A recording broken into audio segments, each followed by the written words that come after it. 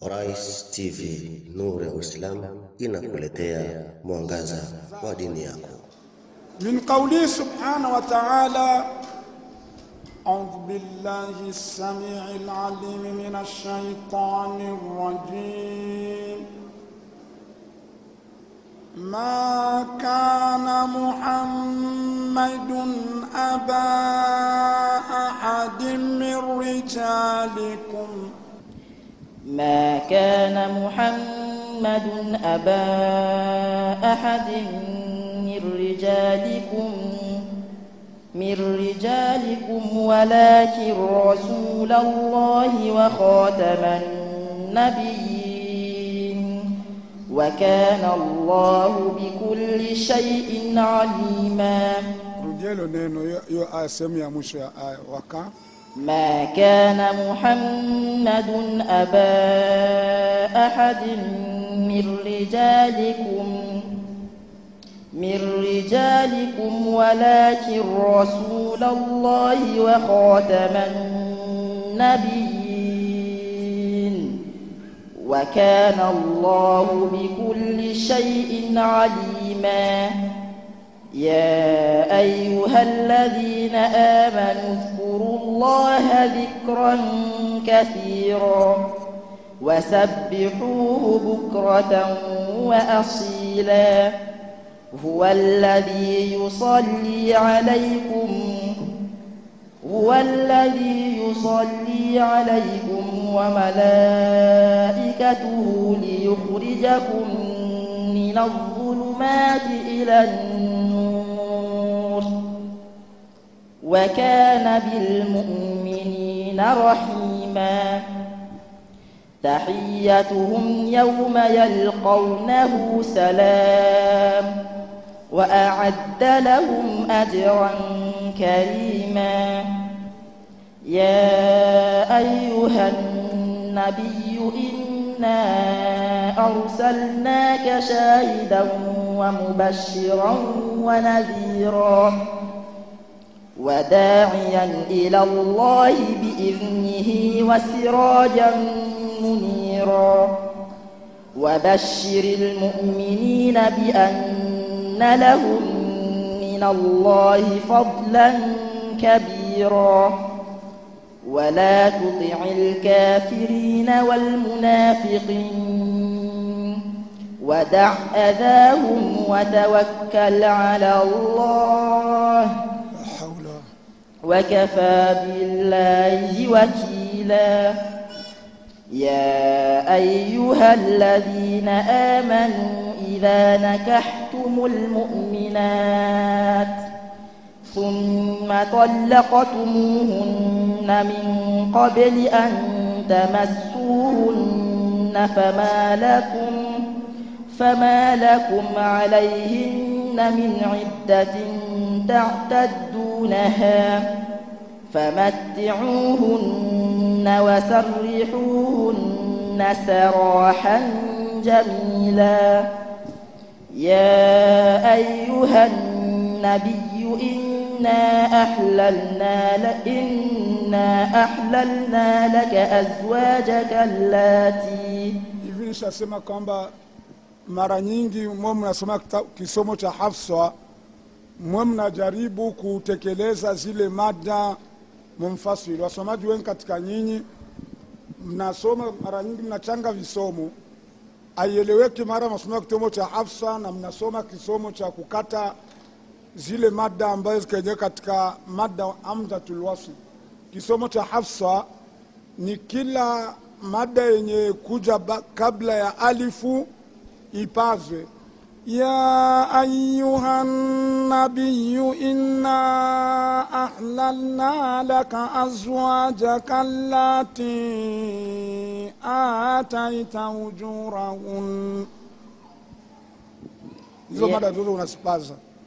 يا أيها النبي إنا أحللنا لك أزواجك التي آتيت أجورهن وما ملكت يمينك allati اللاتي آتيت أجورهن وما ملكت يمينك. وما ملكت يمينك مما الله عليك وبنات عمك وبنات عمك وبنات عماتك وبنات خالك وبنات خالك وبنات خالاتك اللاتي هاجرن معك. وامرأة مؤمنة إن وهبت نفسها للنبي. إن أراد النبي أن إن أراد النبي أن يستنكحها خالصة لك خالصة لك من دون المؤمنين. قد علمنا ما فرضنا عليهم في أزواجهم وما ملكت أيمانهم. لكي لا يكون عليك حرج وكان الله غفورا رحيما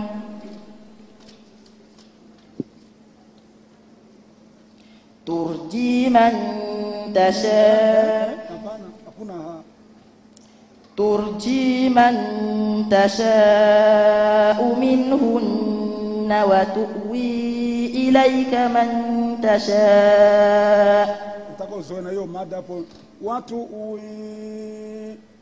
ترجي من تشاء منهن وتؤوي إليك من تشاء. ومن ابتغيت ممن عزلت فلا جناح عليك. ذلك أدنى أن تقر أعينهن. ولا يحزن ويرضين بما آتيتهن كلهن. والله يعلم ما في قلوبكم وكان الله عليما حليما. لا يحل لك النساء من بعد ولا أن تبدل بهن. ولا أن تبدل بهن من أزواج ولو أعجبك حسنهن إلا ما ملكت يمينك وكان الله على كل شيء رقيبا يا أيها الذين آمنوا لا تدخلوا بيوت النبي إلا أن يؤذن لكم إلا أن إلا أن يؤذن لكم إلى طعام غير ناظرين إناه.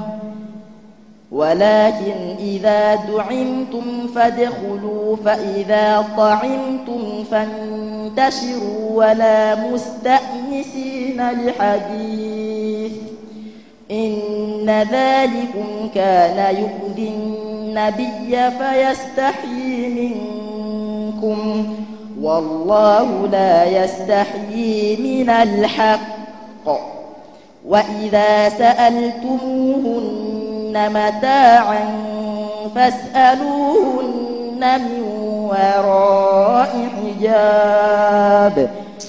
ذلكم أطهر لقلوبكم وقلوبهم وما كان لكم أن تؤذوا رسول الله ولا أن تنكحوا أزواجه من بعده أبدا. eh, min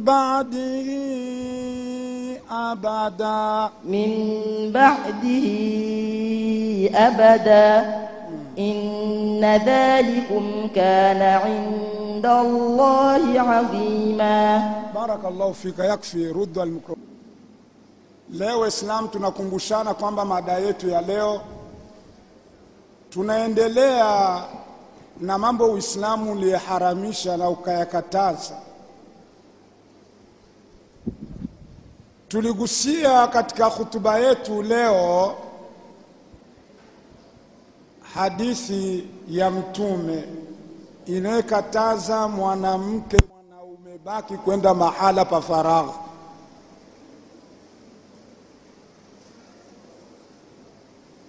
Mnakumbuka sigha ya hadithi? Hadithi iliyopokelewa na sahaba wa mtume Uqbatu bni Amir anasema qala Rasulullah sallallahu alayhi wasallam iyakum wa dukhul ala nisa qalu afaraaita alhamwa قال الرسول يعني قال يعني الرسول الحم الموت hadha hadithin muttafaqun alayhi. Ange jitahadharini, kimbieni kuingia ingia kwa wanawake, chungeni hilo jambo. Ange attention pasopo mm. kuingia ingia kwa wanawake e masahaba maulizo yao yalituelewesha dini. Akatokea mtu mmoja akasema mtume unasema aje shemeji naye binamu naye? Waswahili wana proverbe ya shaitani wanasema binamu chakula cha hamu. Mtu mmoja siku moja akamtania mke wangu eti shee usinikasirikiwe ni binamu yangu. Kaambia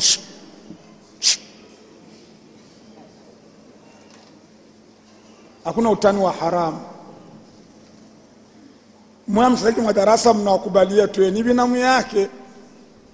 Amtekenye mke wako mbele yake ti ni binamu yake we uta, uko dayusa utaingia peponi. Mtasikia hadithi inayofuata. Ah, basi utamwonea hata wivu hata kwa binamu yake binamu ni chakula cha hamu. Eh? sio chakula cha njaa ni cha hamu.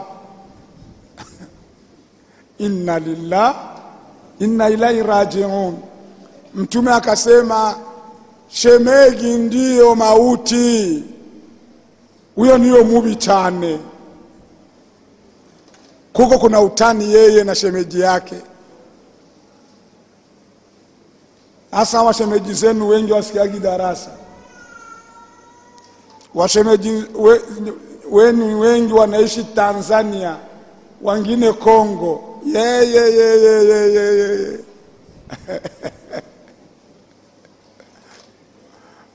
wanakwambia hawezi kuacha mambo ya mankoko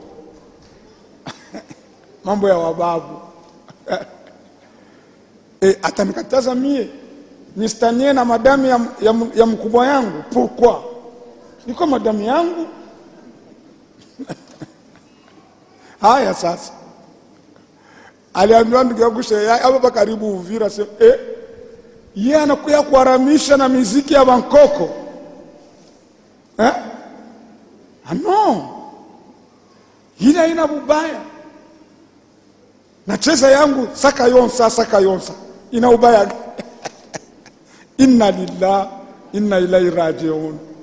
Wa ndugu zetu lakini wako katika jahilia ya karne ishirini.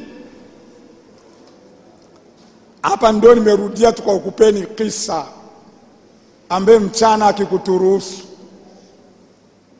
Tufani ya nabii Nuh. Iliangamiza viumbe wote, ikaacha tu viumbe thamanini ndio walibaki waliopanda katika lile jahazi Nuh alitengeneza, likenda likasimama katika mlima wa Judi, tazameni katika surati Hud. Akateremka Nuhu na watu thamanini wakaita ule mji Madinatu thamanini, mji mkuu wa watu thamanini. Vile vizazi vya Nuhi vilikuwa mle, umoja akazaa wahindi mwingine akazaa wazungu mwingine akazaa waarabu na mwingine akazaa waafrika hao watu wote wanatoka kwa watoto wa mtu mmoja wa Nuhi, na sisi wote waarabu wahindi wasomalii sote tukomoka kuri adam. Na adam yavuye mwivu. Turab. Si wote ni wamoja ndugu waislamu mm. mm. miongoni mwa alama za mwenyezi mungu ni kuumbwa kwa mbingu wakhtilafu alsinatikum wa alwanikum. Na tofauti ya rangi zenu na lugha zenu. Sigali anapiga namna yake mzungu anapiga namna yake mwarabu anapiga namna yake. Ukimsikia mbembo asema a a, aksa circumflexe zote walizimaliza. Oh, oh, oh, oh, oh, oh, mabiole oh, oh, mlingeke Eh, ndio lugha yake imejaa aksa conflux oh, oh, oh, oh. mlimakala nyumba eh? Eh. mpira napiga namna yake. Mishasikia washinwa mshasikia wasenegale awazungumzaji huyo anatua na huyo na siote mko hapa sote tuko tunazungumza. Wewe unazungumza na mimi nazungumza. Eh, tutaelewanaje pamoja lugha Kongo peke yake karibu lugha mia nne. Mungu anasema miongoni mwa alama zake kutofautisha rangi zetu uwezo wake na lugha zetu. Mm. tayib allahu akbar. Kwa hivyo waislamu sote asili yetu ni mtu mmoja adam na hawa. Walipoteremka wale watu wa thamanini na katika lile jahazi kama wanavyoeleza almuarikhuna wanachuoni wa tarehe aliambiwa waqul nahmil fiha min kulli zaujaini ithnaini chukua kila mnyama aliyoko ardhini vilivili dike na dume jike na dume akabeba panya wawili mwanamke na mwanaume ndio muujiza wa mungu. Paka walikuwa wawili paka akumla panya na ni mtu na somo yake paka na panya. Kondoo na chui walipanda mle. Kondoo hakum chui hakuliwa na kondoo. Wakateremka au watu wakaishi watu thamanini wakazaana mpaka ulimwengu umejaa leo. Allah subhanahu wa taala akatukumbusha kisa hicho katika surati isra. Dhuriyata mimman hamalna maa nuh. Wale watoto tuliwawe pamoja na katika jahazi moja na mtume nuhi kule mwanzo mwanzo wa surati Isra mtaiona hiyo aya tayari adam na nabii nuhi kisha tu ameshaanza harakati. Ibilisi akamjia alain akamwambia adam akamwambia nuhi afwa sabakani lisani nuh pongezi. Akamwambia nilipopongeza niwe laini we uliolaniwa. Aseme wewe kwa dua yako imewapoteza walimwengu wote ila watu thamanini tu. Hao watu ningewapoteza muda wa miaka mingapi? Lakini dua yako mara moja imewafajia wote. Hivi naweza kujifunika blanketi na lala. Lakini lazima nikupe zawadi sasa nataka kunipa zawadi gani? Nuhi mimi ibilisi. Nafasi tatu simwachi mwanadamu. Sikilizeni hizo fasi tatu. Mwanadamu anapohukumu baina ya ndugu yake au baba yake na mtu baki, mimi huwa nakuja siwaache, nasema weye, huyu ndio ndugu yako, mtakutania naye wapi? Hapa hata ndugu yako ndio ana makosa, mpe sheria. Mtu anakuadisa tafikiri ausikii, yeye ndo alinianza. Ah, kule mbele wewe ndo ulimwanza, wewe usikii huko eh? Huyu bwana ni kiziwi, anasema baba yako ndo alimwanza au ndugu yako wewe unageuza? Hapana, mimi nakujua uko mshari, wewe wewe ndo ulimwanza wewe eh? Ibilisi huyo akamapendelea huyu ndio baba yako, huyu ndio ndugu yako, hamwachi